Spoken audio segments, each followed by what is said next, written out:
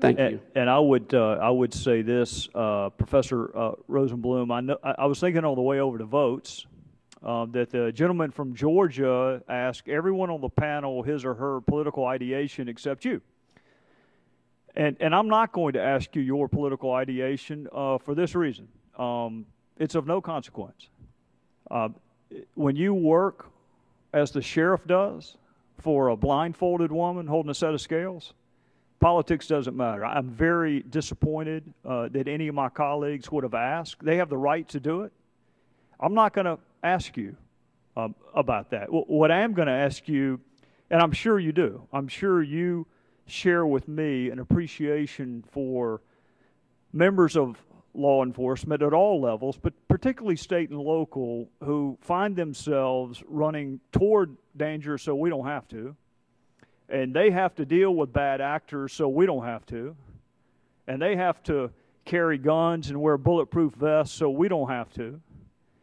And i guess if the sheriff if y'all were to have a moment after this hearing i, I suppose that that our sheriff today would tell you the same thing that my sheriffs back home sheriff wright and sheriff loftis would tell you that one of the hardest parts of being a local law enforcement is when you have to sit down with the family members of crime victims if the victim lives, then you have that conversation with the victim herself or himself. If the victim doesn't, and you find yourself talking to the family members, and invariably, the question always comes back to why was that person out? They were out on bond when they committed the crime. They want to know why was the person out. If the person should have been deported and was not, they want to know why was the person here. So how would you help Sheriff Babeu or my sheriffs explain to crime victims when the fact pattern is the person was wasn't supposed to be here anyway, committed a crime while they were here, served their sentence, and rather than being deported, were put back out into the public to commit another offense. How would you explain that to crime victims? Um, Thank you, Mr. Chairman. Uh, I would not enjoy having those conversations. I'm sure you're right that that's a terrible position to be in. Um, You know, on this whole question of, of the uh, convicted uh, criminals being released, I, I, I find that, um, I haven't studied those data like Ms. Vaughan has, but, but I think we all can agree that a plain reading of both the 2010 enforcement priorities and the 2014 enforcement priorities says that people who've been convicted of serious crimes are th- the executive branch's top enforcement priority. So Do you do you consider domestic violence to be a serious crime? I believe that, that uh, domestic violence crime would be in the top priority category on both the 2010 and 2014. Certainly in 2010 it was. I, I, I mean, I see your counsel shaking her head. I may be wrong about 214. It may be in the second category in 214. Well, I, I, what I found surprising was the comprehensive Senate immigration plan that so many of my colleagues uh, on the other side fell in love with. You, you can actually be convicted of domestic violence and still remain on a path to citizenship. I find that almost impossible to believe. Uh, let me ask you this about about law enforcement: Who investigates most homicide cases in the United States? I, I'm sure that's state and local police. Who investigates most robbery cases? I'm sure as well. Who investigates most domestic violence cases? State and locals. Who investigates most adult sexual assault cases? I'm sure that's also state and locals. Who investigates most child sexual assault cases? State and locals. Who patrols the interstate even though it is inherently interstate and therefore impacts interstate commerce? Who, who patrols that? That would also be state and locals.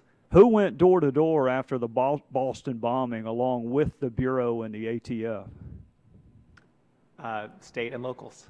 Who provides security to the very same colleagues who don't want and don't trust local law enforcement to enforce our immigration laws? Who provides security for them when they're back in their district having their town halls and their public events?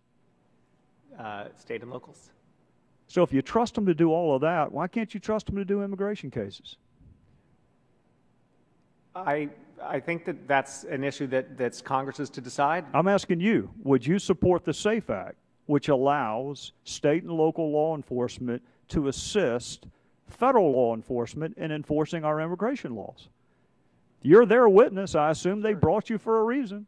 I would say that um, while I agree with you that state and locals play a role, obviously, in all of those law enforcement functions, that there are certain unique things about immigration policy, Such as? such as that it, it is a transnational issue that has both domestic and international uh, implications. Counterfeiting does too.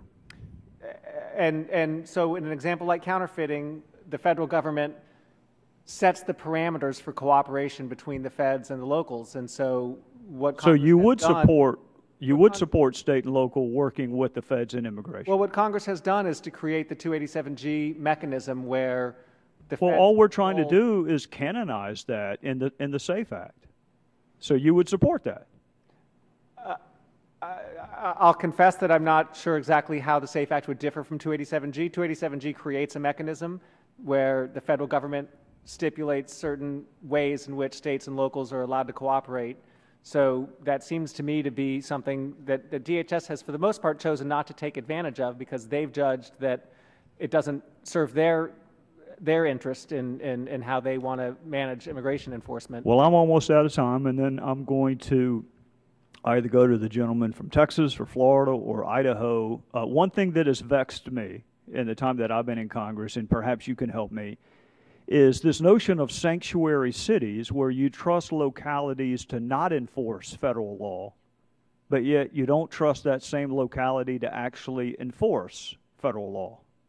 Can you help me reconcile why you, how you can support the existence of sanctuary cities, but at the same time not support those very same local law enforcement officers participating in enforcement?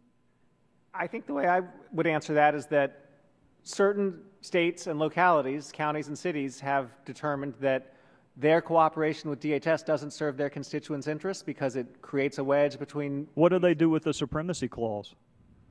Well, so they have chosen to limit the way they interact and to not honor those voluntary detainer requests because they've. That sounds like nullification to me. Well, And I'm from a state with a little experience in that. That's true.